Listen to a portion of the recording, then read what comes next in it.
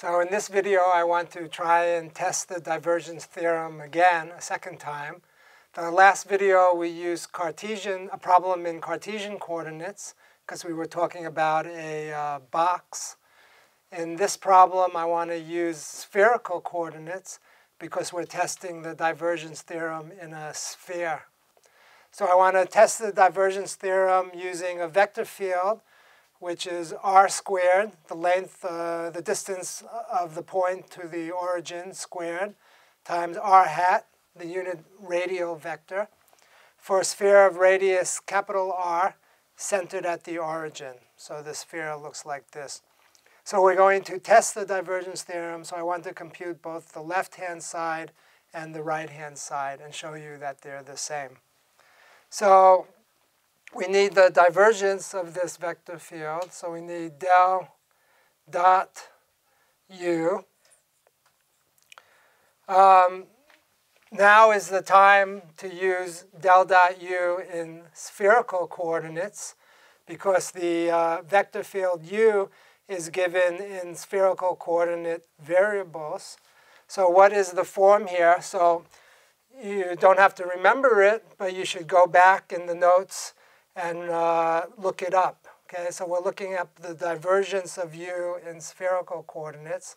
So the first term is a 1 over r squared times d dr of r squared u sub r. So that's the component of u in the r hat direction, plus other terms that depend on the component of u in the theta direction and in the phi hat, phi hat direction, but there is no component of u in those directions. The only component that u has is in the r hat direction. So all these other terms are zero, okay? Uh, that's typically what happens when you're working a problem in spherical coordinates. You usually have some type of symmetry associated with the sphere. So you get a nice simplification here. Uh, so u sub r is r squared. So that's 1 over r squared. And then there's only an r dependent, so I can just write that as d dr. And this would be r to the fourth. These other terms here are all 0. Okay? So we have the derivative of r to the fourth is 4r cubed. So 4r cubed divided by r squared will be just 4r. Okay? So del dot u is 4r. dv is our volume uh, element in spherical coordinates.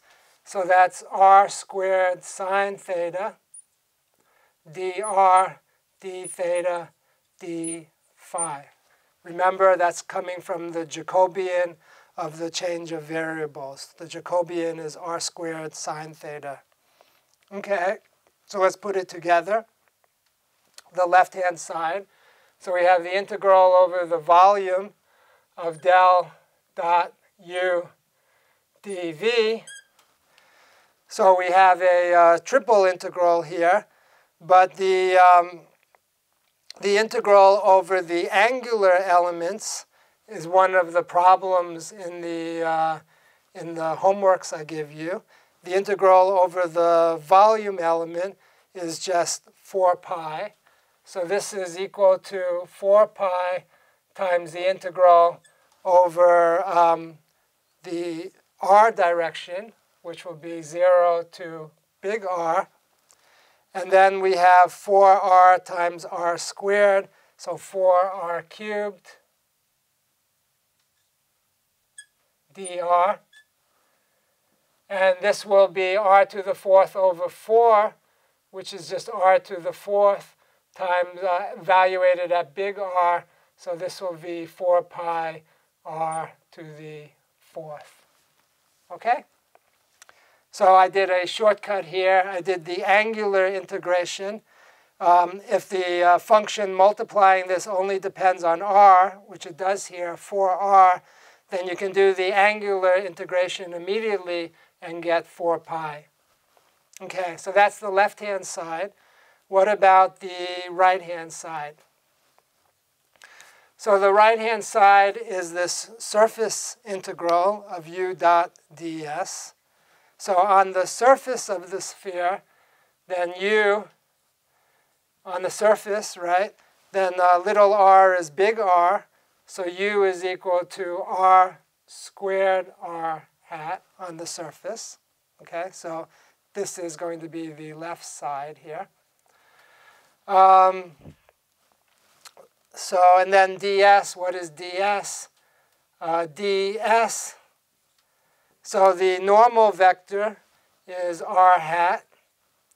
And then the ds element here is going to be our uh, dv volume element, except that um, r is going to be capital R squared. And then we have a sine theta. And we're no longer dr because we're just on the outside of the sphere. So we just have a capital R squared d theta d phi. Capital R squared sine theta d theta d phi. Okay? This is something that I haven't taught you yet. But if you have a surface element of a sphere, you basically have a fixed uh, radius so you put the radius in the r squared. We're not integrating over r, so there's no dr, but we still have this sine theta, d theta, d phi. Okay? Um, something uh, you should, you should uh, know. Okay, so let's put this together. So we have the integral over the uh, sphere of u dot ds so this will be u dot ds, so the r hat dot dr, r hat dot r hat becomes 1. So we have an r to the fourth, so we have an integral over the uh, surface of r to the fourth sine theta d theta d phi so we're integrating theta goes from 0 to pi, phi goes from 0 to 2 pi. Again, this is our the integral of over the uh, angles of sine theta, d theta, d phi is 4 pi, and r to the fourth just comes out. So this gives us 4 pi times r to the fourth, which is the same. Okay, so um, I tested the divergence theorem. The left-hand side is the same as the right-hand side. So let me uh, review. We're doing spherical coordinates now. We have to pull the divergence of u in terms of spherical coordinates. You don't remember this, you look it up. There's only the first term because uh, u just depends on, uh, it's just u, u sub r, r hat, so you only have the first term contributing, and then you can uh, calculate it, that's 4r. Then we need to integrate 4r over the volume.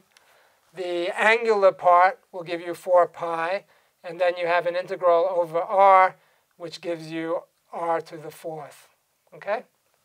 On the other hand, if we compute the surface integral of u dot ds, then uh, u on the surface of the sphere is, is the radius of the sphere, capital R squared times r hat is the normal vector. ds we get from the uh, angular part of dv times r squared, capital R squared, and that's in the r hat direction. And then we do this integral, and again, we get 4 pi r to the fourth. Okay, this is a bit sophisticated now. We're working, able to work both in Cartesian coordinates and in spherical coordinates. I'm Jeff Chasnov. Thanks for watching, and I'll see you in the next video.